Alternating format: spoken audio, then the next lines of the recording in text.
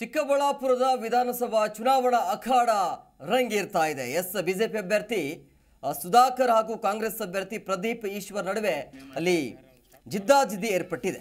So ಅಲ್ಲಿ ಅವರು ಪ್ರದೀಪ್ ಈಶ್ವರ್ ಬರೀ ಮಾತುಗಾರ ಅವರಿಂದ ಏನು ನಿರೀಕ್ಷೆ ಮಾಡಲು ಸಾಧ್ಯ ಇಲ್ಲ ಅಂತ ಸುಧಾಕರ್ಗೆ ನೋಡಿ ಅಂದರೆ ಈ ರೀತಿಯಾಗಿ ಸುಧಾಕರ್ ಹೇಳಿದರು. ಈಗ ಈ ಸುಧಾಕರ್ಗೆ ಈಗ ಪ್ರದೀಪ್ ಈಶ್ವರ್ ತಿರುಗೇಟನ್ನು ಕೊಟ್ಟಿದ್ದಾರೆ. ಸೊ ಅಧಿಕಾರದಲ್ಲಿದ್ದಾಗ ಕೊಟ್ಟ ಭರವಸೆಗಳನ್ನು ಈಡೇರಿಸಿಲ್ಲ. ಸುಧಾಕರ್ ನೀಡ್ತಿರುವಂಥ ಹೇಳಿಕೆಗಳ ಬಗ್ಗೆ ಸಾರ್ವಜನಿಕರು ಆಕ್ರೋಶ ಭರಿತರಾಗಿದ್ದಾರೆ ಅಂತ ಕೌಂಟರ್ ಕೊಟ್ಟಿದ್ದಾರೆ. ಆಪೋಸಿಟ್ ಕ್ಯಾಂಡಿಡೇಟು ಸುಧಾಕರ್ ಅವರು, ನಿಮ್ಮ ಹುಟ್ಟೂರಾದ ಪೇರಸಂದ್ರದಿಂದನೇ ಅವರು ಪ್ರಚಾರ ಸ್ಟಾರ್ಟ್ ಪ್ರಾರಂಭ ಮಾಡಿದ್ದಾರೆ. ಸೊ ಅಲ್ಲಿ ಅವರು ಒಂದು ಸ್ಟೇಟ್ಮೆಂಟ್ಗಳು ಕೊಟ್ಟಿದ್ದಾರೆ ಸರ್. ನೀವು ಬರೀ ಮಾತುಗಾರ ಅಂತೆ ಕೆಲಸಗಾರ ಅಲ್ಲ ಅಂತೆ, ಇದ್ರ ಬಗ್ಗೆ ನಿಮ್ಮ ಸ್ಟೇಟ್ಮೆಂಟ್ ಏನು ಸರ್? ಮಾತುಗಾರನ ಯಾಕೆಂದರೆ ನನಗಿನ್ನ ಕೆಲಸ ಮಾಡೋಕ್ಕೆ ಅವಕಾಶ ಸಿಕ್ಕಿಲ್ಲ. ನನ್ನ ಮಾತಿಗೆ ಇಷ್ಟು ಭಯ ಬಿದ್ದಿದ್ದಾರೆ ಅಂದರೆ ಇನ್ನು ನಾನು ಕೆಲಸ ಮಾಡೋಕ್ಕೆ ಸ್ಟಾರ್ಟ್ ಮಾಡಿದ್ರೆ ಈ ಕಾನ್ಸ್ಟಿಟ್ಯೂನ್ಸಿಗೆ ಬರ್ತಾರ ಕೇಳಿ.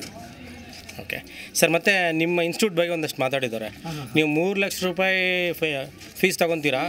ಎಲ್ಲ ಹುಡುಗರನ್ನ ಯಾಮಾರಿಸ್ತಿದ್ದೀರಾ ಅಂತೇಳಿ?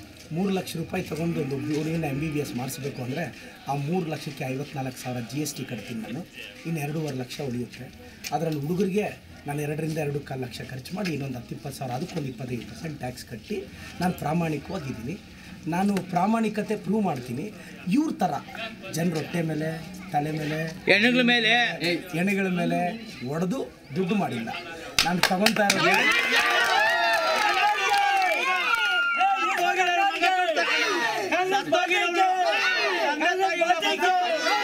ತಂದೆ ತಾಯಿ ಇಲ್ಲ ನನಗೆ ಗೊತ್ತು.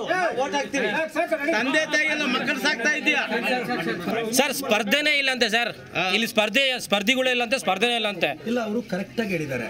ಮೂರನೇ ಪ್ಲೇಸ್ಗೆ ಅವ್ರು ಒಬ್ಬರೇ ಇರೋದು. ಹೌದು. ಮೂರನೇ place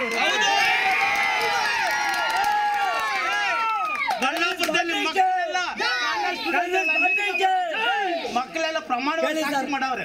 M B B S ಮಕ್ಕಳು ಡಿಗ್ರಿ ಮಕ್ಕಳು ನೀನು ಮಾತುಕೊಂಡಿರೋ ಮಾತಿಗೆ ನಾನು ಬೆಲೆ ಕೊಡ್ತಾ ಇದ್ದಾರೆ. ಸರ್ ಸರ್ ಸರ್ ಹತ್ತನೇ ಹತ್ತನೇ ತಾರೀಕು ಆದ್ಮೇಲೆ ಹತ್ತನೇ ತಾರೀಕು ಆದ್ಮೇಲೆ ಪವರ್ ಬರುತ್ತೆ ಅಂತ ಹೇಳಿ ಆಡ್ತಿದ್ದೀರ ಅಂತ ಹೇಳ್ತಿದ್ದಾರೆ. ನಿಮ್ಗೆ? ನಿಮಗೆ ಬರುತ್ತೆ.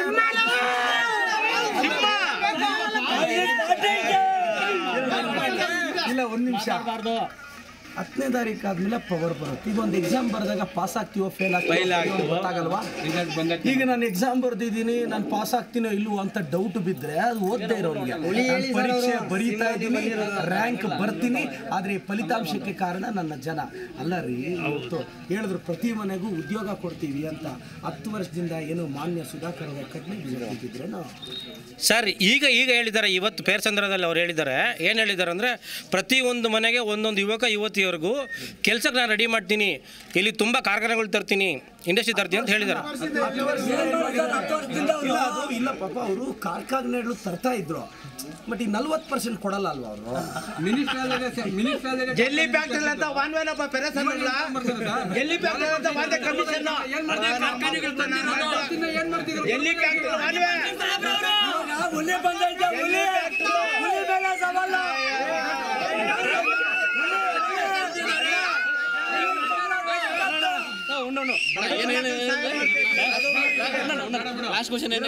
ಸರ್ ಲಾಸ್ಟ್ ಕ್ವಶನ್ ಏನಂದ್ರೆ ಪ್ರತಿ ಒಂದು ಗ್ರಾಮದ ಮನೆಯಲ್ಲಿ ಯುವಕ ಯುವತಿಯರಿಗೆ ಕೆಲಸ ಕೊಡ್ತೀನಿ ಕಾರ್ಖಾನೆಗಳು ತಂದ್ಬಿಟ್ಟು ತುಂಬಾ ಕಾರ್ಖಾನೆಗಳು ತರ್ತೀನಿ ಪೇರಸಂದ ಗ್ರಾಮಕ್ಕೂ ತರ್ತೀನಿ ಅಂತ ಹೇಳಿದ್ದಾರೆ ಇದ್ರ ಬಗ್ಗೆ ಏನು ಹೇಳ್ತೀರಾ ಸರ್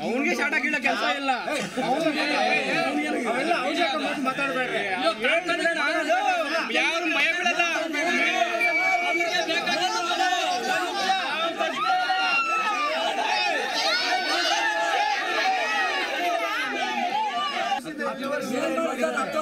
ಇಲ್ಲ, ಅದು ಇಲ್ಲ, ಪಾಪ ಅವರು ಕಾರ್ಖಾನೆಗಳು ತರ್ತಾ ಇದ್ರು. ಬಟ್ ಈ ನಲ್ವತ್ತು ಪರ್ಸೆಂಟ್ ಕೊಡಲ್ಲ ಅಲ್ವಾ ಅವರು? ಪ್ರತಿಕ್ಷಣದ ಸುದ್ದಿಗಾಗಿ Zee Kannada news app download ಮಾಡಿ. Live TV latest updates entertainment lifestyle technology ಸುದ್ದಿ ನಿಮ್ಮ ಅಂಗೈಯಲ್ಲಿ.